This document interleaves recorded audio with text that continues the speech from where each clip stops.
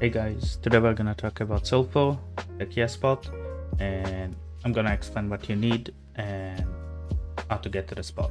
So to get started, you wanna go to around Sulfur Works.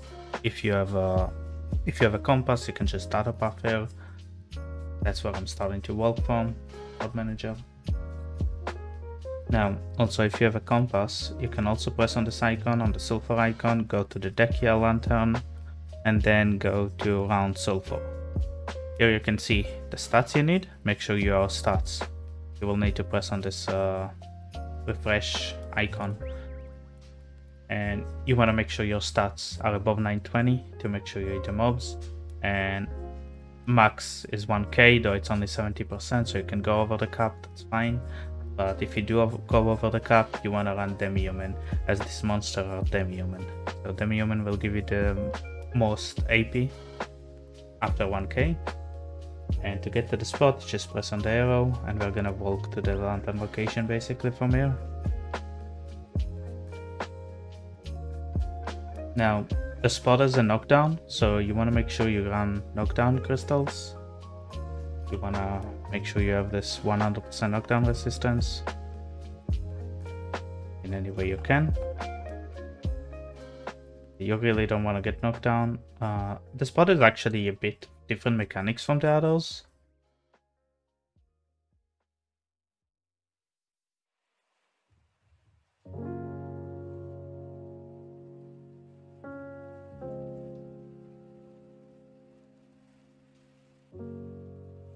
Just walk into the spot again. You can just follow the auto path and it will send you right to the Dehkia Lantern spot. You don't need to do more than that. I'll fast forward a bit.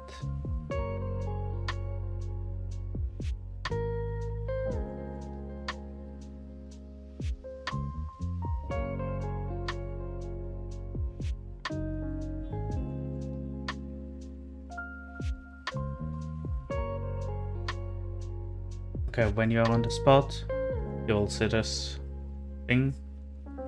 As usual, there is the Dehkia icon above it. You just have to activate your Dehkia lantern and then it will start. Now, as I said, it has few mechanics and the way they work is quite different from the other Valencia Dehkia spots.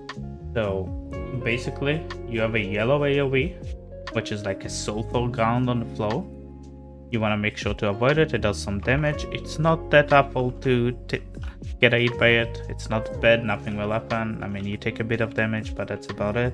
If you have the DP, you will be fine.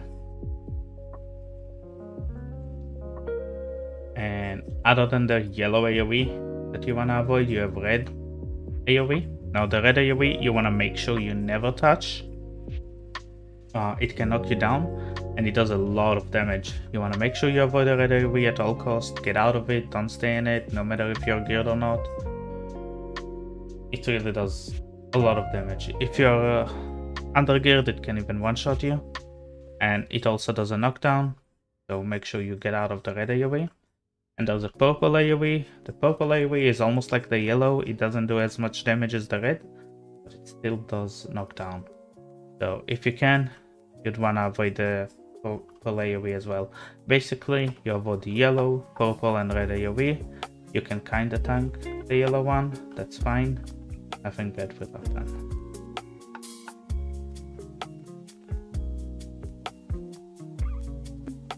Moving on, there's also a blue AoE. it's like a small mini game. Um, the blue AoE will be around there. You want to take the blue AoE. Once you take the blue AoE, basically what will happen is you get a buff for 60 seconds.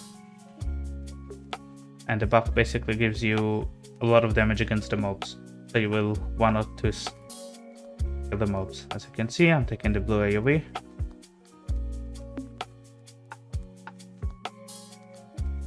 do it again. You can see i have now a buff. And when i do a skill I do a lot of damage to the mobs.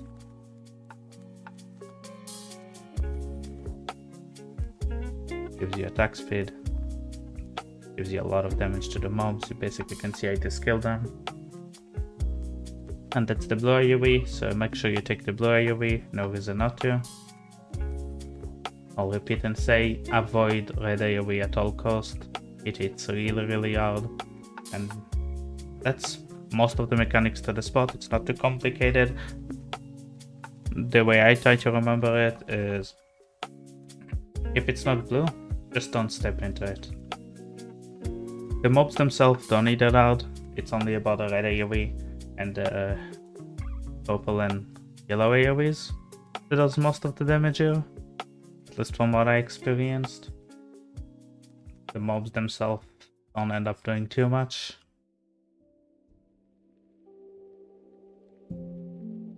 As long as you avoid the AoE, you will be good. The yellow AoE, for example, I'm stepping on it. As you can see, it does some damage to me over time. Not really over time, but it's like 3 ticks of damage. No, you don't really need to dodge it unless you don't have that much gear. You can block it kind of. It's not that dangerous, but if it's the purple, the purple can knock you down. So you don't want to stand in it, or you want to use 100% knockdown resistance. And the red will knock you down as well, and a lot of damage, so again, 100%. Make sure you dodge the red one, make sure you walk to the blue one, and then just enjoy the spot. Now, there are two bosses that can spawn here, and it's the Devour and the Tukar bosses. Now, as far as I know, most of the spots in um, Dehkia can drop the Debo only from the bosses, so most likely it's the same here. I haven't gotten any Debo, but as you can see, this is the Devourer boss. Once you kill him, small devourers will spawn as well. I do a bit of damage to him right now because I have the blue buff. Increases my damage. It's quite tanky. Other than that, it's just the same. You just DPS him as normal. They spawn 5 mini mobs. And that's about it. Good luck with the map or props or whatever you're here for. Hope you enjoy. If you like the video, don't forget to like, subscribe, and comment. See you on the next one.